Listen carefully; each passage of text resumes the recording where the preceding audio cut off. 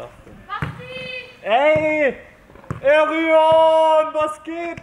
Willst du Krafttraining machen? Was geht ab? Ja, herzlich willkommen bei Soccer Performance. Nach langer Zeit ähm, trainiert wieder. Heute ist zur Woche 17, ähm, Sommervorbereitung. Also Liga ist ja vorbei, ist die erste geworden, Mochipe auch Torschützenkönig, genau. 27 27 Tore, schon eine Leistung in der Kreisklasse, genau. Falls du noch nicht weißt, Mochipe ist auch äh, nach Milbertshof in die Ziehung Bayernliga gewechselt. Drei Ligen höher schon für ein, ja, so drei, vier Monate, die wir im Einzeltraining jetzt drin trainiert haben, ganz gute Verbesserung. Heute machen wir ein Krafttraining. Zurzeit trainieren wir nicht so viel, dass er eher mal ein bisschen eine Pause auch hat. Also er geht immer noch ins Mannschaftstraining und so, hat schon ganz gutes Trainingspensum und Grundlagen Ausdauer aufbauen, aber machen jetzt noch nicht so viel Einzeltrainings. Genau, jetzt machen wir eben Krafttraining, Klimmzüge, Liegestützen und noch ein paar Übungen für die Beine und den Rumpf legen wir los. Doch, da bist du schon viel stabiler. Ja, also erste Übungen sind ähm, Klimmzüge. Haben wir bisher immer mit Band, mit Unterstützung gemacht.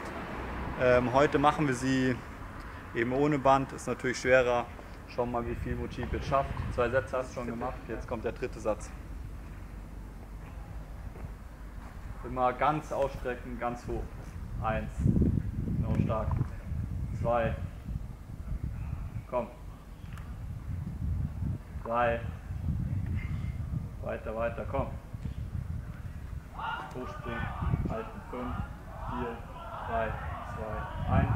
Fünf, vier, drei, zwei, eins. Gut. Noch einer, komm. Fünf, vier, drei, zwei, eins.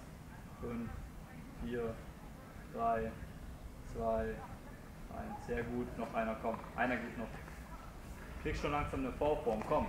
5, 4, 3, 2, 1. Komm. Einer noch, komm. Egal, ist dein letzter, jetzt zieh nochmal durch. 5, 4, 3, 2, 1.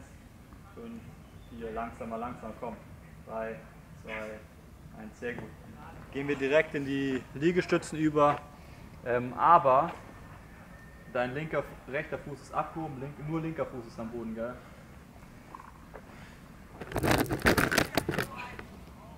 Eins, zwei, drei, vier, fünf, sechs, sehr gut, kannst du ein bisschen weiter runter gehen, sieben, acht, komm, neun, zehn,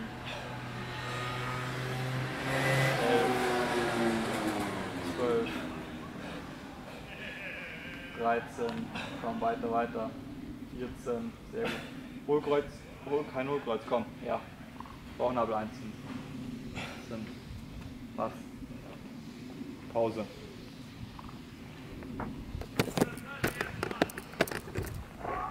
Ja, wieso machen wir das jetzt auf dem linken Fuß und rechtes Bein erhöht? Weil er Rechtsfüßler ist. Also ist ja so, im Fußball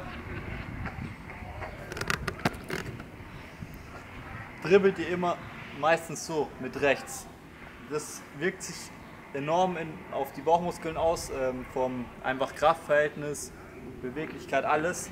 Und wenn wir jetzt aber den rechten Bein abheben, das linke Bein oben haben bei den Liegestützen, dann ähm, wird einfach diese Muskelkette mehr beansprucht, die ja meistens vernachlässigt wird, weil man nur mit rechts ähm, dribbelt und sich hier mehr abdrückt. Das ist genau andersrum und auch für die Bauchmuskeln, ganzen Muskelstränge, sehr gut. Okay, wir starten jetzt für die Beine. Erste Übung sind, sind Sprünge, okay? Ich mach's einmal kurz vor. Ganz einfach. Das ist hier ein Trap Bar Deadlift. So eine Mischung aus Kniebeugen und Kreuzheben. Holt den euch einfach hier hin. Geht runter, zack, explodiert raus, okay? Aber eben als Sprung. Nach vorne schauen, Brust raus. Und dann schauen, dass ihr hier nicht, wenn ihr unten seid, so ähm, einen Rundrücken macht. Leichtes Hohlkreuz wollen wir bei der Übung haben. Bauchnabel einziehen, Becken kippen, Brust raus, Schultern zurück. Genau. Aber bei solchen Übungen musst du vorsichtig sein. Also mit Motiv, da kann man sich schon verletzen, wenn man das nie macht. Schieb hat eine sehr gute ähm, Rumpfstabilität. Wir haben alles gemacht. Kniebeugen, Kreuzheben ist langsam aufgebaut. Deswegen kann er jetzt auch schon mit Gewicht, wiegt ungefähr 20 Kilo, so gesprungene Sachen machen. Und wenn du die zum ersten Mal machst, dann wirst du auch merken, dass du ordentlich Muskelkater bekommst, weil vor allem Muskelkater kriegt man ja in der exzentrischen Bewegung. Vor allem, wenn du dann aufkommst und das Gewicht nochmal extra dich runterzieht, dann reißen da, kriegst ein paar Mikrorisse, kriegt man eher Muskelkater als jetzt zum Beispiel vor normalem Fitnesstraining. Legen wir los. Gehen wir auch so 15, 15 bis 20 Sprünge. Genau, gleichmäßig greifen. Stopp. Schaff deine Dings, deine Fußstellungen ein bisschen breiter. Und du musst jetzt auch eine wichtige Sache, deine Knie dürfen, sollen nicht zusammen. Lass sie lieber ein bisschen zu weit außen. Klar, aber am besten ist natürlich gerade Beinachse. Und Gewicht ist immer auf den Fersen. Klar, du landest hier, aber dann ist dein Gewicht hier, nicht hier vorne, sondern dein Gewicht ist unten. Dann drückst du dich auch über die Fersen ab, okay?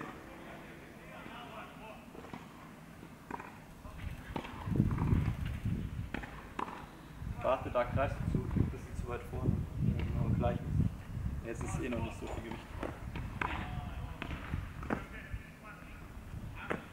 Sehr gut. Hier gut den Fuß ranken, ja. Schaut schon sehr gut aus. Kommt Knie mehr nach außen. Wenn du ab, dich abdrückst auch beim Abdrücken und beim Landen.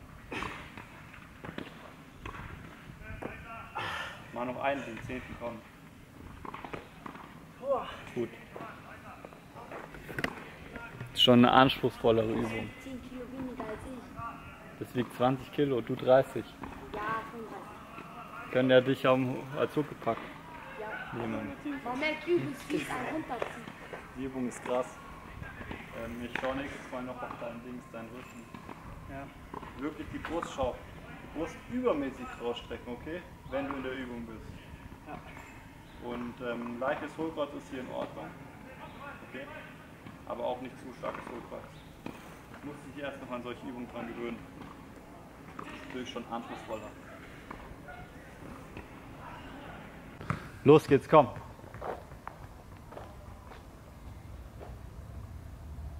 Drückst du dich ab? Ferse. Genau, Gewicht ist auf der Ferse. Natürlich beim Landen landest du natürlich erst hier, du landest nicht so, das ist absolut dumm. Du landest erst hier, federst alles ab, nicht zu sehr über die Knie, mehr über die Hüfte wollen wir abfedern, okay? Nicht über die Knie, über die Hüfte. Und dann ist dein Gewicht auf der Ferse. Dann gehst du runter, drückst dich wieder ab, dein Gewicht ist wieder auf der Ferse und dann natürlich springst du aber. Brust raus. Arme sind durchgestreckt, okay? Nicht jetzt ex komplett durchgestreckt, aber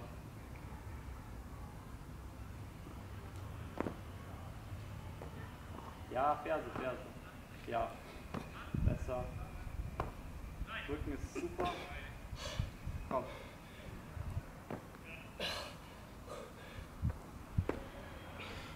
Nein, landen Ja. vorne, ja. Okay, passt. Ja, muss aber so sein, gell? Umso anstrengender, umso besser. Ähm, ich sag mal so, in, in zwei Monaten ist es für Motiv nichts mehr vom Gewicht her. Und wenn wir dann noch, noch mehr darin gearbeitet haben. Aber jetzt ist natürlich schon zum ersten Mal eine Challenge. Challenge.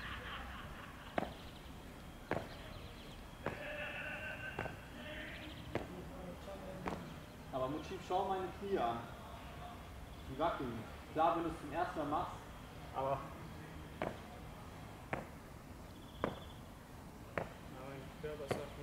ja, und du musst doch nicht ganz hier runter gehen. Du kannst auch hier schon so stoppen. Zack.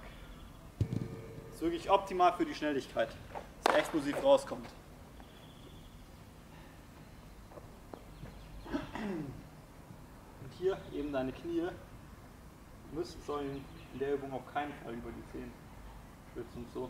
Klar, wenn du immer noch dein Gewicht auf der Ferse hast, kannst du theoretisch auch weiter vor, aber machen wir es erstmal nicht. Eben über die Hüfte abfedern, okay? Kannst du hier vorne abfedern, scheiße. Mehr über die Hüfte. Spring mal so kurz nach oben und feder über die Hüfte ab. Nein, du sollst einfach nur so einen kleinen Hops machen und auf die Landung nicht Ja, das. Aber Siehst du, wie dein Gewicht hier vorne ist? Ja, schon besser. Noch mehr, noch aufrechter? Ja, gut. Passt. Komm. Kommt drauf an, wie sehr du konzentrierst, dann kannst du es.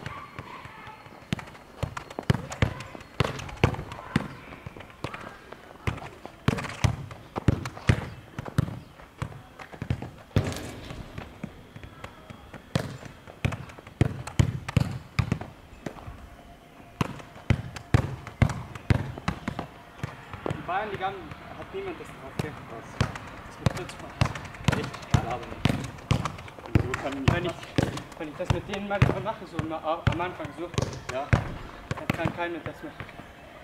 So richtig schnell. Ihr schaut, niemand checkt es, aber solche Übungen sind verdammt wichtig. Die meisten können es nicht. Schau, die sind zu langsam. Du auch. Wenn ich dich bewusst schnell mal auf den linken Fuß anspiele, dann bist du nicht da. Oder ein bisschen weiter. Klar, der Pass kann ja auch mal hier hinkommen. Da musst du halt hier einen Schritt rüber gehen, weißt du? Man kann nicht schon so auf den Pass warten. Du musst beiden Beinen am Boden sein. Und dann schnell reagieren, je nachdem, wo der Ball hinkommt. Ja, auf dem Boden ist halt noch mal extra schwerer als auf Rasen oder auf Kunstrasen. Guter Ball. Aber wenn du es hier kannst, kannst du es überall. Und es ist so wichtig, dass du jemanden hast, der hier schon ein bisschen voraus ist, weil er halt vielleicht älter ist oder mehr, bessere Technik hat und dann mit dem so Sachen übt, wo er einfach das Tempo anziehen kann. Sehr gut dabei. Und wir machen weiter. Letzter Satz mit Schieb. Gesprungen.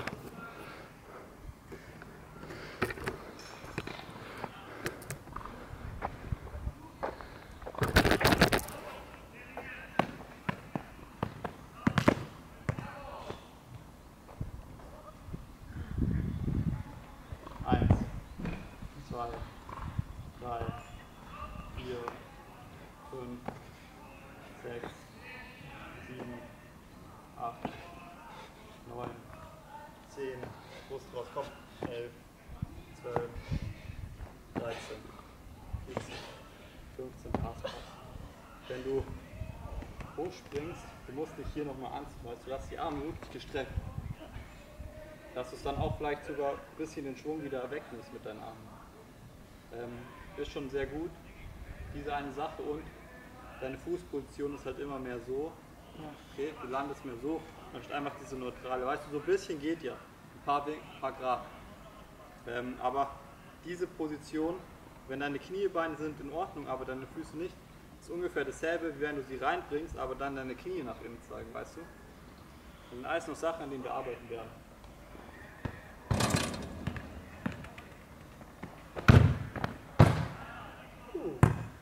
Aber ich glaube, wenn wir weiter trainieren, ich werde so einen Fre äh, äh, Freistoß Ja, easy. Du musst gar nicht so sehr Freistöße und Elfmeter trainieren, weißt du, klar, das, wenn wir Zeit haben im Sommer, machen wir es noch nach den Einzeltrainings. Aber Ja. viel wichtiger ist überhaupt das Einzeltraining. Da schießt du ja z- 20 Mal mehr aufs Tor, Ja, ist so. 10, 20 Mal mehr aufs Tor und überleg dir jetzt mal, nicht doppelt so viel, nicht dreimal so viel. Du hast 10 bis 20 Mal mehr Torschüsse als im normalen Mannschaftstraining. Deswegen äh, verbessert sich dann Freischuss dann eh. Deswegen ha haben ja einfach die, die Spieler, die am meisten Tore schießen, Ronaldo, Messi, Lewandowski, die haben auch so einen geilen Freischuss. Ja, kurzer Tipp. Wenn du so Freistöße, Elfmeter schießen willst, dann kommunizier das mit dem Trainer, aber vorher beweis, dass du es kannst. Äh, Mojib zum Beispiel ähm, hat ja auch in YouTube-Videos, wo man sieht, dass er die Freistöße schießen kann. Aber du kannst natürlich erst trainieren und zack, der Trainer lässt sich die Freistöße schießen, wenn du gute Freistöße schießen kannst, das ist klar? Ähm, deswegen trainiere auf jeden Fall Freistöße, dann kannst du, dann kommunizier das noch, trau dich, geh zum Trainer hin, okay, ich würde mal gern Freistöße schießen, aber mach das erst nachdem du ähm, paar Wochen lang fast täglich an deinen Freistößen geübt hast und die auch gut geworden sind. Dann sag ihm, dass wie viel, du Zeit, wie viel Zeit du reingesteckt hast, wie gut du geworden bist und dann ähm, kannst du ihn da auch natürlich überzeugen, dass er dich dann mal Freistöße schießen lässt und dann musst du halt aber auch äh, liefern, wenn du dann im Spiel mal einen Freischuss hast. Und da machst du ihn, dann bist du gleich drin ähm, und bist da gesetzt.